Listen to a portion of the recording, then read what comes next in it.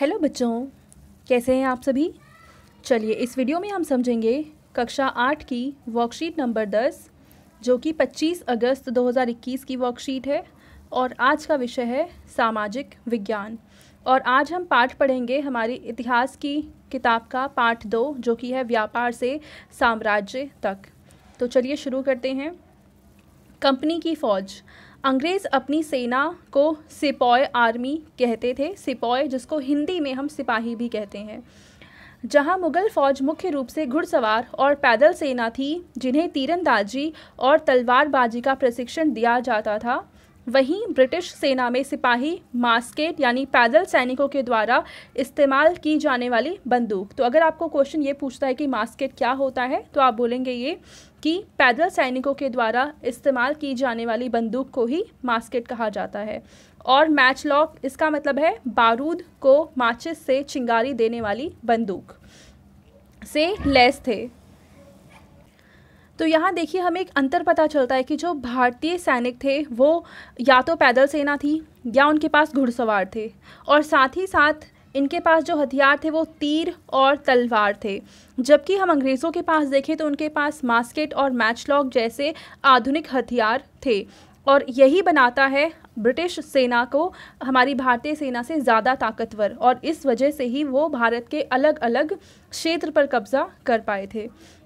दोनों फ़ौजों के बीच मुख्यतः ये अंतर थे। तो हम देखते हैं अब हमारी भारतीय फ़ौज और ईस्ट इंडिया कंपनी की फ़ौज में क्या अंतर है। पहला अंतर है मुख्य रूप से सवार, यानी कि प्रशिक्षित, घुड़सवार और पैदल सैनिक थे मुगल सेना में, जैसे हमने ऊपर पढ़ा। जबकि ईस्ट इंडिया कंपनी में अधिकतर पैदल सेना थी, पर इनके पास आधुनिक हथियार हुआ करते थे। दूसरा है सवारों का दबदबा, पैदल सैनिक कम थे, यानी कि यहाँ पे अगर हम कहें घुड़सवार ज़्यादा थे और पैदल सैनिक कम थे मुग़ल सेना में। जबकि अगर हम ब्रिटिश इंडिया की बात करें तो सवारों की संख्या यहाँ पे कम थी, यानी कि घोड़े पे चलने वाले सैनिकों की संख्या काफ़ी कम हुआ करती थी। जबकि जो सैनिक पैदल चलते थे वो काफ़ी ज़्यादा थे। तीसरा है तीरंदाजी और तलवारबाजी से निपुण सेना थी मुग़ल के पास, जबकि ब्रिटिश के पास जो सेना थी उनके पास बंदूक चलाने में वो निपुण थी, यानी बंदूक चलाने का उन्हें काफ़ी ज़्यादा प्रशिक्षण दिया गया था। चौथा है, विशाल पेशेवर प्रशिक्षित सेना नहीं थी। यानी मुग़ल सेना जो थी, वो बहुत ज़्यादा ट्रेंड नहीं थी। उसको बहुत कम प्रशिक्षण दिया गया था और आवश्यकता पड़ने पर ग्रामीण सशस्त्र किसान भी सैनिक बनते थे। यानी कि जो मुग़ल सेना थी, वो बहुत ज़्यादा प्रशिक्षित नहीं थी। ग्रामीण लोग भी, जो किसान लोग हुआ करते थे, वो भी अक्सर इस सेना में जब लोगों की ज़रूरत होती थी तो शामिल हो जाया करते थे। और अगर हम ब्रिटिश ईस्ट इंडिया कंपनी की फ़ौज की बात करें तो सिपाहियों को यूरोपीय ढंग का अभ्यास और अनुशासन सिखाया जाता था।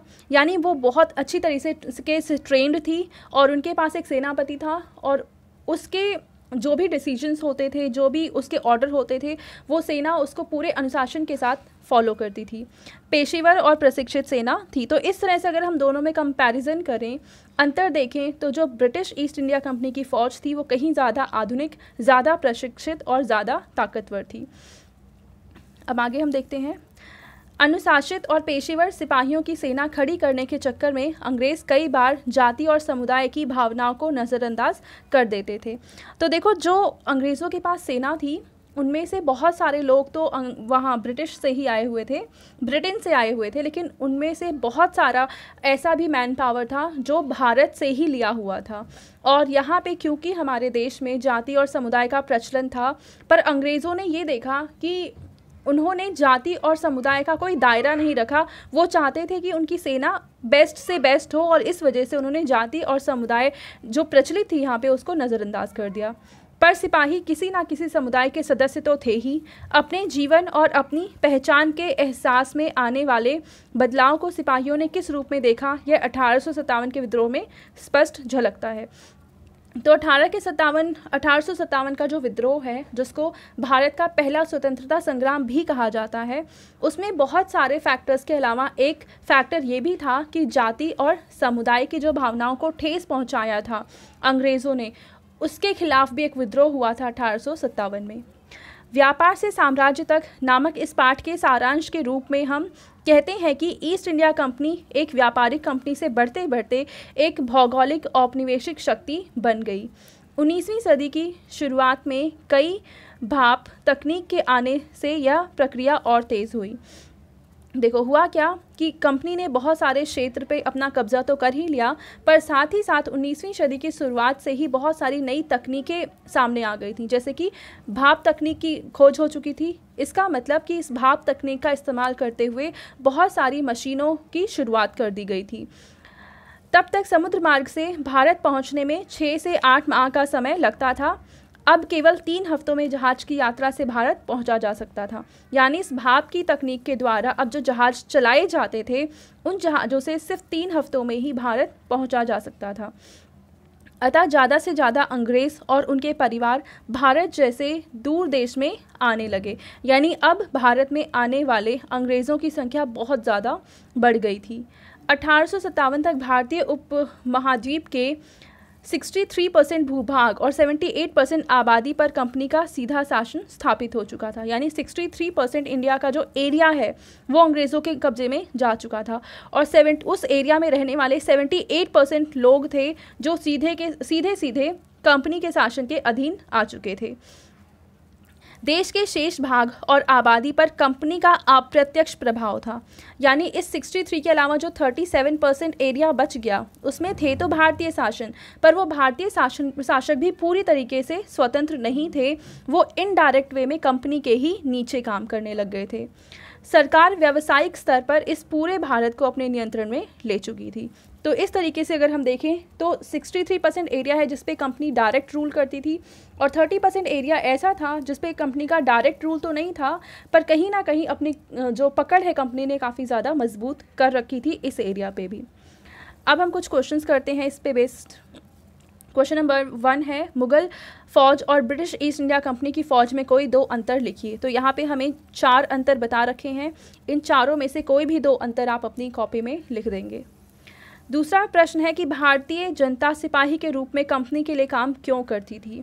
तो देखिए उस समय भारत एक इकलौता देश नहीं था मतलब पूरा का पूरा जैसे आज हम कहें हाँ, आज हम कि हम भारतवासी हैं तो उस वक्त ऐसा नहीं था। भारत छोटे छोटे टुकड़ों में बटा हुआ था। अवध है हैदराबाद है बंगाल है तो ये रियासतें थीं। और हमारे पास हम कहें तो राष्ट्रीय भावना नहीं थी।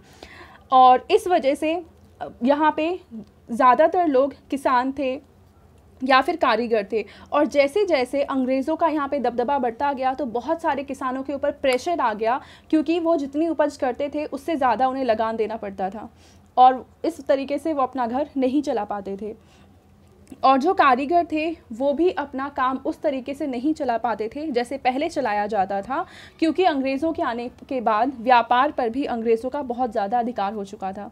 तो इस तरीके से भारतीय जनता कहीं ना कहीं, एक तरह से हम कहें कि बेरोज़गार हो चुकी थी और उसे कमाई का कोई ना कोई साधन तो चाहिए था और इसलिए वो अंग्रेज़ी सेना में शामिल हुई क्योंकि उसे, वो उनके लिए आय का एक स्रोत मालूम हुआ और तो इस तरीके से हम देखेंगे। और दूसरी चीज़ ये भी है कि राष्ट्रीय भावना ना होने के चक्कर में उन्होंने सिर्फ़ ये देखा कि हमारी इनकम का स्रोत है तो इसमें शामिल हो जाओ, बजाय इसके कि ये ब्रिटिश है या ये इंडिया है।